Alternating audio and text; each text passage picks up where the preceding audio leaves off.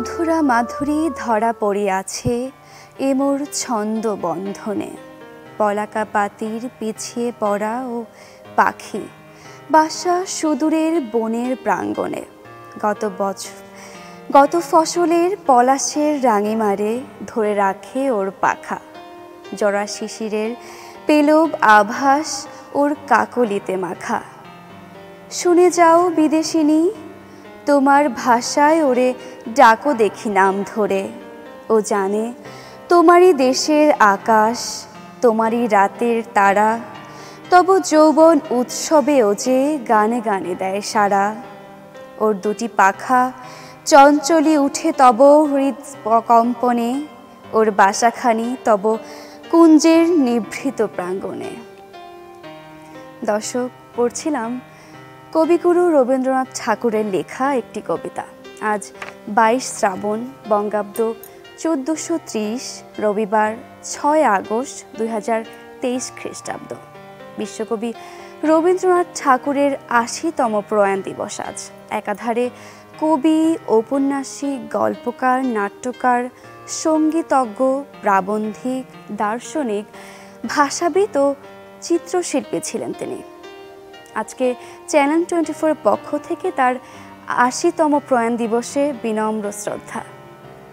দর্শক, আপনাদের সাথে আছি আমি সারিকা তাবাসুম। শুরু করছি যেমনটি বলছিলাম, আজ বাইশে শ্রাবণ, বিশ্বকবি রবীন্দ্রনাথ ঠাকুরের আশিতম প্রয়াণ দিবস। চলে যাওয়ার প্রায় আট দশক পর আজও তিনি রয়ে গেছেন কোটি মানুষের হৃদয়ে। নিমতলা মহাশ্মশানে দাহ করা হয়েছিল বাংলা ও বাঙালির কবিকে। চলুন দেখে আসছি একটি প্রতিবেদন। রবি অস্তাচলের দ্য লাস্ট জার্নি, যার সমাপ্তি এখানটাই। রবি ঠাকুর থেকে শুরু করে শঙ্খ ঘোষ কিংবা ঈশ্বরচন্দ্র বিদ্যাসাগর, সবারই অন্তিম যাত্রায় কালের সাক্ষী হয়ে আছে কলকাতার হুগলি নদীর পাড়ের এই নিমতলা মহাশ্মশান। এর ঠিক পাশে রয়েছে বিশ্বকবি রবীন্দ্রনাথ ঠাকুরের সমাধিস্থল।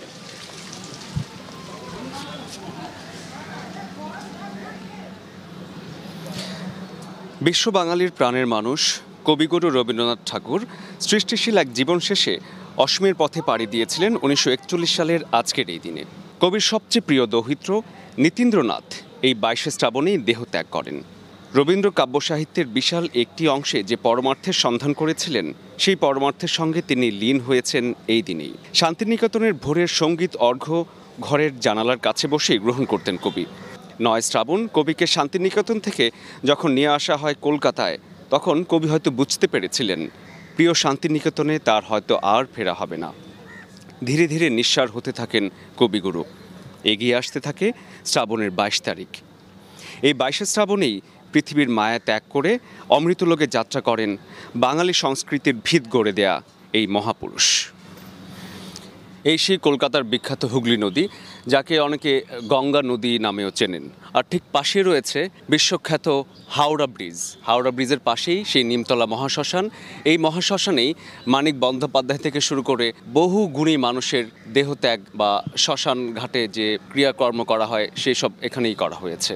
কলকাতার এই নিমতলা মহাশ্মশানের ঠিক পাশেই রবি ঠাকুরকে দাহ করা হয়েছিল। এই জায়গাটি হয়তো অনেকেই চেনেন না। বেশ কিছু মানুষ আমরা এখানে দেখতে পাচ্ছি। অনেকেই এসছেন। আজ বাইশে শ্রাবণে কবিগুরুর এই সমাধিস্থল পরিদর্শন করতে। আমরা একটু তাদের সাথে কথা বলতে চাই। সবসময় স্পেশাল নো ডাউট আর সবথেকে বড় কথা, এই জায়গাটা খুব সুন্দরভাবে মেনটেন করা হয় এখনও তো এটাই সবথেকে ভালো লাগে যেখানে কবিগুরুর সমাধি এখনও আছে।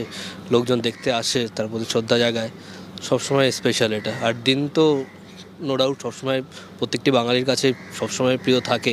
ঠিক পাশেই আমি দেখতে পাচ্ছি পণ্ডিত ঈশ্বরচন্দ্র বিদ্যাসাগরের কথা কিছুক্ষণ আগে আপনাদের বলেছিলাম, তার একটি মুরাল রয়েছে।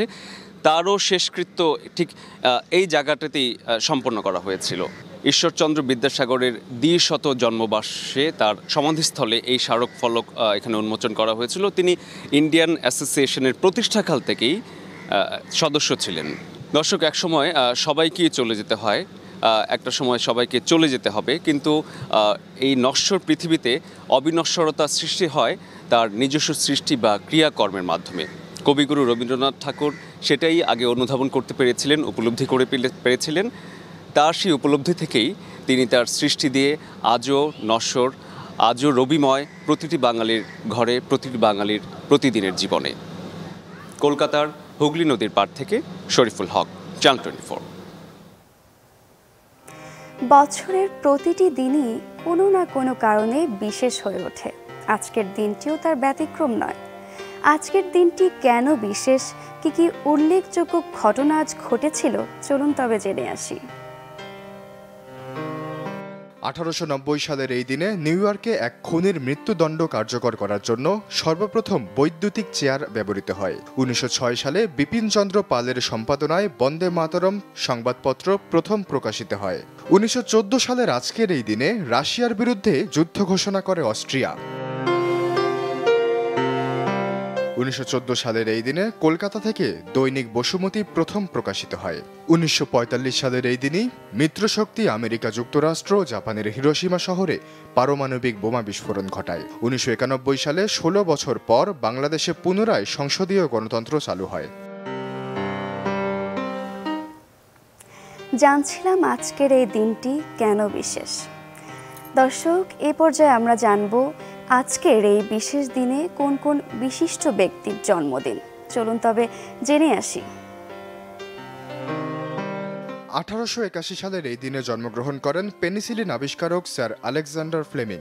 তিনি স্কটিশ চিকিৎসক, অণুজীব বিজ্ঞানী, বিশ্বের প্রথম অ্যান্টিবায়োটিক বিংশ শতকের বিস্ময় পেনিসিলিন আবিষ্কারের জন্য পরিচিত ছিলেন। এই আবিষ্কারের জন্য তিনি উনিশশো পঁয়তাল্লিশ সালে যৌথভাবে চিকিৎসা বিজ্ঞানে লাভ করেন নোবেল পুরস্কার এবং উনিশশো চুয়াল্লিশ সালে নাইট উপাধিতে ভূষিত হন তিনি। উনিশশো এগারো সালের এই দিনে জন্মগ্রহণ করেন মার্কিন অভিনেত্রী ও মডেল লুসিল ডিজায়ারে বল তিনি একাধারে অভিনেত্রী, মডেল, চলচ্চিত্র স্টুডিও নির্বাহী প্রযোজক। তার প্রযোজিত show sitcom I love Lucy, the Lucy Desi comedy hour the Lucy show, here's Lucy O life with Lucy. তিনি তেরোটি প্রাইম টাইম এমি পুরস্কারের মনোনয়ন লাভ করেছেন, তার মধ্যে জিতেছেন চারটি। উনিশশো সাতাত্তর সালে ফিল্ম ক্রিস্টাল পুরস্কারের প্রথম নারী পুরস্কার গ্রহীতা ছিলেন তিনি। উনিশশো উনত্রিশ সালের এই দিনে জন্মগ্রহণ করেন বাংলাদেশি গীতিকার, সুরকার ও লোকশিল্পী আব্দুর গফুর হালি। তিনি মাইজ ভান্ডারী, মুর্শিদি, মারফতি প্রভৃতি ধারায় প্রায় দুই হাজারের অধিক গান রচনা করেছেন। দু হাজার দশ সালে তাকে নিয়ে নির্মিত হয়েছে প্রামাণ্য চলচ্চিত্র মেঠো পথের গান। তিনি নিজের রচিত অধিকাংশ গানে সুরারোপ করেন। উনিশশো সালের এই দিনে জন্মগ্রহণ করেন মার্কিন অভিনেত্রী, চলচ্চিত্র পরিচালক ও প্রযোজক ভেরা অ্যান ফার্মিগা। তিনি ব্রডওয়ে মঞ্চের টকিং সাইডস নাটকে অভিনয়ের মাধ্যমে তার অভিনয় জীবন শুরু করেন। দু হাজার এগারো সালে নাট্যধর্মী হায়ার গ্রাউন্ড চলচ্চিত্র দিয়ে তার পরিচালনায় অভিষেক হয় এবং তিনি এতে শ্রেষ্ঠাংশে অভিনয় করেন। বিশিষ্টজন তো বটেই সেই সাথে আপনারা যারা আমাদের সাথে আছেন, সকাল টোয়েন্টি ফোরের সাথে আছেন, যাদের আজ জন্মদিন, তাদেরকে সকাল টোয়েন্টি ফোরের পক্ষ থেকে এই মিষ্টি সকালে জানাই শুভ জন্মদিন। সকাল সকাল আপনাদের দিনটি সুন্দরভাবে শুরু হোক। আর দিনের শুরুটার মতোই সারা দিনটি কাটুক, রঙিন ও মধুর হয়ে। দর্শক, এবারে চলে যাব পত্রিকায়। সকাল সকাল পত্রিকার পাতায় একটু চোখ বুলিয়ে না নিলে যেন দিনটি সম্পূর্ণ হয় না। তাই তো হাতে নিয়ে বসেছি বেশ কয়েকটি পত্রিকা। শুরুতেই পড়ছি প্রথম আলো। প্রথম আলোর শুরুতেই যে শিরোনামটি দেখছি, চাপ বাড়ছে বিদেশি ঋণ পরিশোধের। চীন, রাশিয়ার ঋণ পরিশোধ চাপ বাড়াচ্ছে। গত অর্থ বছরে প্রতিশ্রুতি ও অর্থ ছাড় দুটোই কমেছে। বিদেশি ঋণ পরিশোধে চাপ বাড়ছে। সদ্য বিদায়ী দুই হাজার বাইশ তেইশ অর্থ বছরেই আগের অর্থ বছরের তুলনায় সাতাইশ শতাংশের বেশি ঋণ পরিশোধ করতে হয়েছে। পড়ছি ডেঙ্গু নিয়ে একটি শিরোনাম। দেশে ডেঙ্গুতে মৃত্যু তিনশো ছাড়ালো। সাধারণত জুলাই থেকে সেপ্টেম্বর এই তিন মাস ডেঙ্গু পরিস্থিতি বেশি খারাপ থাকে। এবছর মোট মৃত্যু তিনশো তিন।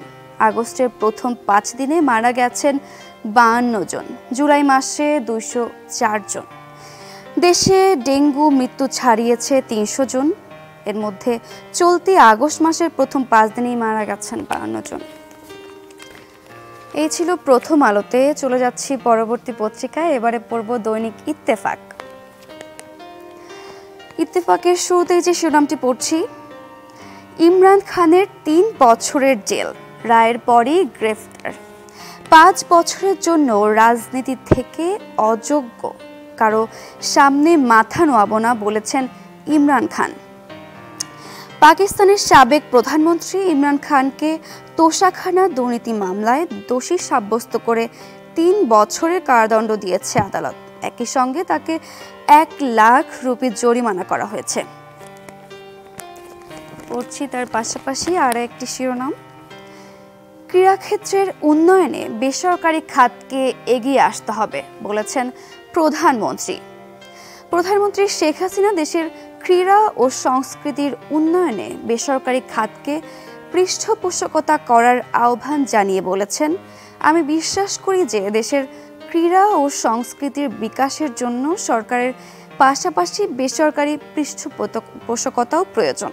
বেসরকারি পৃষ্ঠপোষকতা ছাড়া এটি বিকশিত হতে পারে না। চলে যাচ্ছি পরবর্তী পত্রিকা এবারে হাতে রয়েছে সমকাল। সমকালের শুরুতে যে শিরোনামটি দেখছি। দুর্বল নিরাপত্তার সুযোগ নিচ্ছে হ্যাকার গ্রুপ। তথ্য প্রযুক্তির বিকাশের সঙ্গে নানামাত্রিক কার্যক্রম ভার্চুয়াল জগতের ওপর নির্ভরশীলতা বাড়ছে সরকারি বেসরকারি প্রতিষ্ঠানের। জরুরি তথ্য উপাত্ত সংগ্রহে সনাতনী কাগজপত্রের চেয়ে এখন ই নথিতে ঝুঁকছে আধুনিক বিশ্ব। এমনকি ব্যক্তিগত যোগাযোগের মাধ্যম হিসেবেও সাইবার খাত বড় জায়গা দখল করে নিয়েছে। পিকনিকের আনন্দে নেমে এলো বিষাদ। মুন্সীগঞ্জের সিরাজদিখান উপজেলার লতবদি ইউনিয়ন থেকে ট্রলারে নদী ভ্রমণে গিয়েছিলেন ছিচল্লিশ জন। সারাদিন হই হুল্লোড় করে রাতে বাড়ি ফিরছিলেন তারা। পথে বালুবাহী বালখেরের ধাক্কায় তাদের ট্রলারটি ডুবে যায়। পিকনিকের আনন্দে মুহূর্তে নেমে আসে বিষাদ। ঘটনাস্থল থেকে নারী শিশু সহ আটজনের মরদেহ উদ্ধার করা হয়েছে। জীবিত উদ্ধার হয়েছে বত্রিশ জন, এখনও ছয়জন নিখোঁজ। চলে যাচ্ছি পরবর্তী পত্রিকায়, এবারে পড়ব কালের কণ্ঠ। কালের কণ্ঠের শুরুতে যে শিরোনামটি পড়ছি তিরিশ হাজার আবেদনকারীর তথ্য নেই বিআরটিতে। ফি বেড়েছে আগের চেয়ে প্রায় ষাট শতাংশ। আগের আবেদনকারীর কাছ থেকে বর্ধিত ফি, আদায় নিয়ে জটিলতা। আগের ঠিকাদার তথ্য সংরক্ষণ করে যায়নি। নতুন লাইসেন্স দ্রুত পাওয়া গেলেও নবায়ন হচ্ছে না সহজে। সড়ক অলিগুলি সবখানে পানি। বারবার সময় বাড়িয়েও শেষ হয় না জলাবদ্ধতা নিরসন প্রকল্প। প্রকল্পগুলো কখন শেষ হবে নিজেও বলতে পারছি না বলে জানিয়েছেন মেয়র। চট্টগ্রাম নগরের সড়ক উপসাগরে পানি বাদ নেই, অলিগলিও। সবখানে হাঁটু থেকে কোমর সমান পানি। প্রায় অর্ধেক গণপরিবহন সড়কে নামতে পারেনি। এতে ভোগান্তিতে পড়তে হয় মানুষকে। জরুরি প্রয়োজনে কেউ বাইরে বের হলেও বাড়তি ভাড়া গুনতে হয়। স্বাভাবিক জীবনে অনেকটা স্থবিরতা নেমে আসে। পড়ছি সর্বশেষ পত্রিকা, হাতে আছে বণিক বার্তা। বণিক বার্তার শুরুতেই যে শিরোনামটি পড়ছি, দেশের জ্বালানি নিরাপত্তা নিয়ে উদ্বিগ্ন ব্যবসায়ীরা। দুই হাজার তিন সাল নাগাদ জ্বালানি আমদানিতে ব্যয় হবে চব্বিশ থেকে ত্রিশ বিলিয়ন ডলার। বিদ্যুৎ শিল্প সহ অন্যান্য খাতের জ্বালানি চাহিদা মেটাতে আমদানি করা হচ্ছে তরলীকৃত প্রাকৃতিক গ্যাস, কয়লা ও জ্বালানি তেল। এসব খাতে প্রতি বছর ক্রমবর্ধন হারে দেশে জ্বালানি চাহিদা বাড়ছে।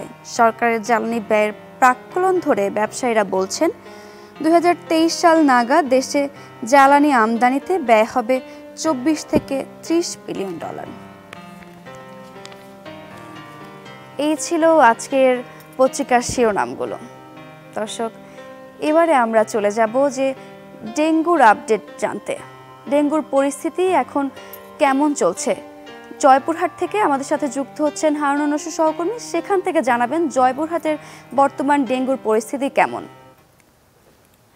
হারুন, শুভ সকাল। আমাদের জানাবেন যে জয়পুরহাটে এখন ডেঙ্গুর পরিস্থিতি নিয়ে বিস্তারিত।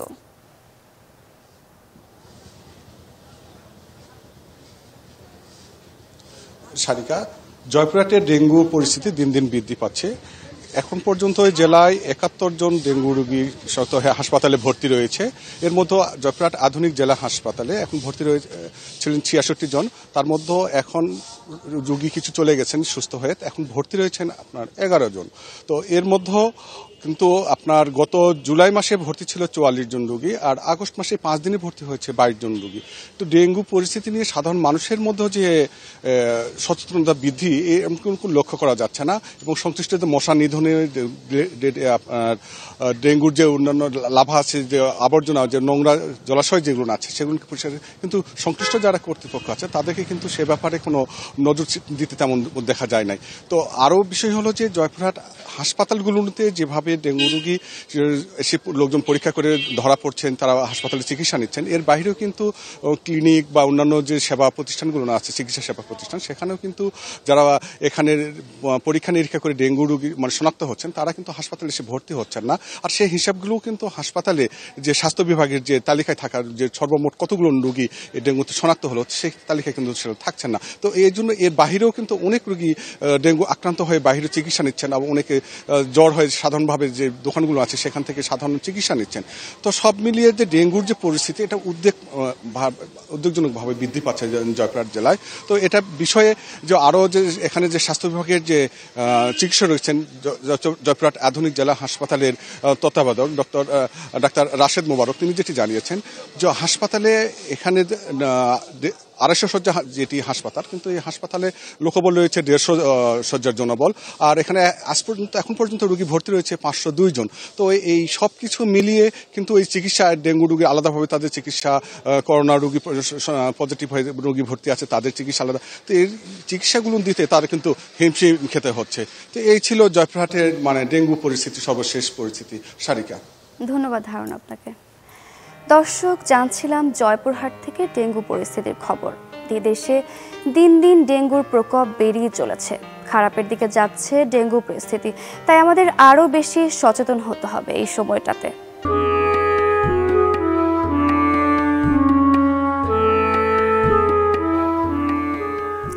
ফিরে এলাম বিরতির পর। আবারও আমন্ত্রণ সকাল টোয়েন্টি ফোরে দর্শক এবারে চলুন জেনে নেই, গেল চব্বিশ ঘণ্টার আবহাওয়ার তথ্য কি বলছে? এবং সেই সাথে আজকের আবহাওয়ার পূর্বাভাসটি জেনে নিলে কেমন হয়? চলুন তবে জেনে আসি। ঢাকায় গেল চব্বিশ ঘন্টায় সর্বোচ্চ তাপমাত্রা শনাক্ত হয়েছে বত্রিশ দশমিক আট ডিগ্রি সেলসিয়াস। সর্বনিম্ন তাপমাত্রা শনাক্ত হয়েছে পঁচিশ দশমিক চার ডিগ্রি সেলসিয়াস। রাজশাহীতে সর্বোচ্চ তাপমাত্রা ছিল চৌত্রিশ দশমিক পাঁচ ডিগ্রি সেলসিয়াস, সর্বনিম্ন সাতাশ দশমিক পাঁচ। রংপুরে সর্বোচ্চ তাপমাত্রা তেত্রিশ দশমিক সাত, সর্বনিম্ন সাতাশ। ময়মনসিংহে সর্বোচ্চ তাপমাত্রা ছিল বত্রিশ দশমিক পাঁচ, সর্বনিম্ন সাতাশ দশমিক তিন ডিগ্রি সেলসিয়াস। সিলেটে গেল চব্বিশ ঘন্টায় সর্বোচ্চ তাপমাত্রা শনাক্ত হয়েছে তেত্রিশ দশমিক পাঁচ ডিগ্রি সেলসিয়াস, সর্বনিম্ন পঁচিশ দশমিক পাঁচ। চট্টগ্রামে সর্বোচ্চ তাপমাত্রা উনত্রিশ দশমিক তিন, সর্বনিম্ন পঁচিশ দশমিক ছয়। খুলনায় সর্বোচ্চ তাপমাত্রা ছিল বত্রিশ দশমিক পাঁচ, সর্বনিম্ন ছাব্বিশ দশমিক চার। বরিশালে গেল চব্বিশ ঘন্টায় সর্বোচ্চ তাপমাত্রা শনাক্ত হয়েছে উনত্রিশ ডিগ্রি সেলসিয়াস, সর্বনিম্ন ছাব্বিশ দশমিক দুই ডিগ্রি সেলসিয়াস। গেল চব্বিশ ঘন্টায় দেশের সর্বনিম্ন তাপমাত্রা শনাক্ত হয়েছে বান্দরবানে চব্বিশ দশমিক এক ডিগ্রি সেলসিয়াস। আর সর্বোচ্চ তাপমাত্রা ছিল রাজশাহীতে চৌত্রিশ দশমিক পাঁচ ডিগ্রি সেলসিয়াস।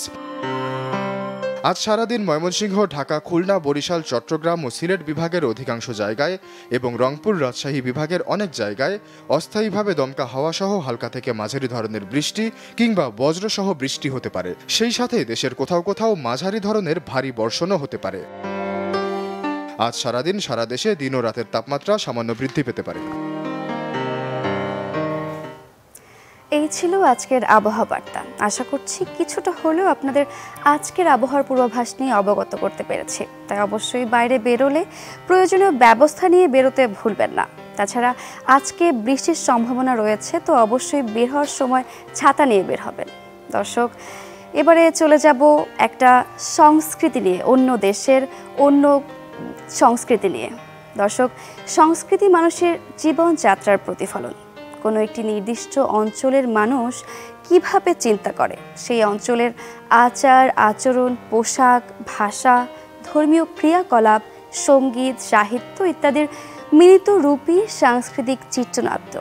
এই আয়োজনে আজ আপনাদের জানাব পার্শ্ববর্তী দেশ নেপালের সংস্কৃতি নিয়ে। চলুন জেনে আসি।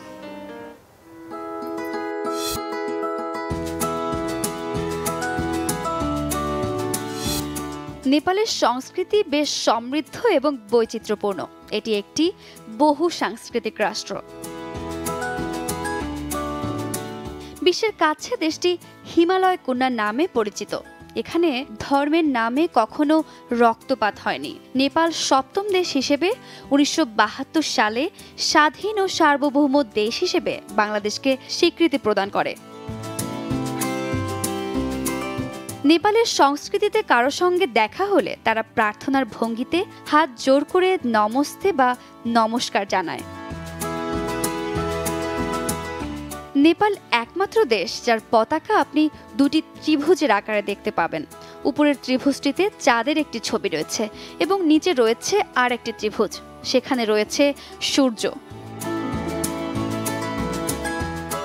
নেপালের দুটি প্রধান ধর্ম হিন্দু এবং বৌদ্ধ ধর্ম। দুই ধর্মে প্রতিনিধিত্বকারী হিসেবেই পতাকায় ধরা দেয় চাঁদ এবং সূর্য।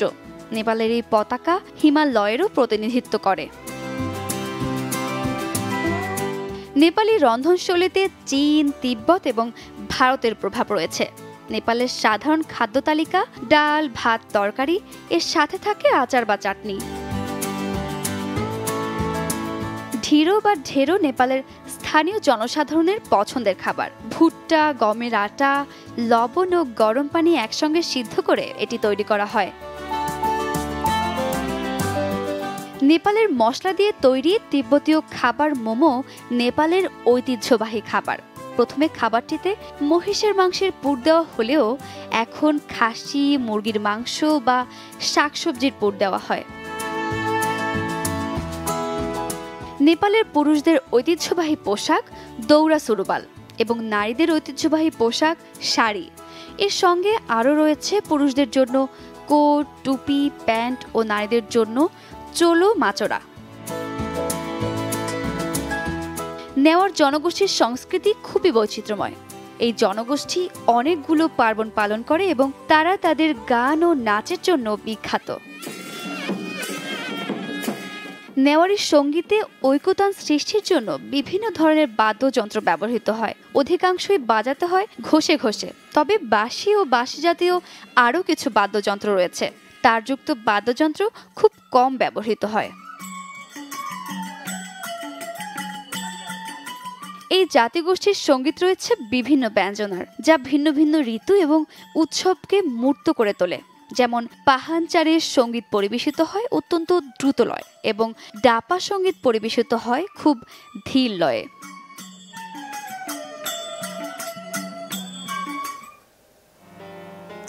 সকাল টোয়েন্টি ফোর আয়োজন আজকের এই পর্যন্তই। দেখা হবে আগামী পর্বে। সবাইকে আরও একবার শুভ সকাল।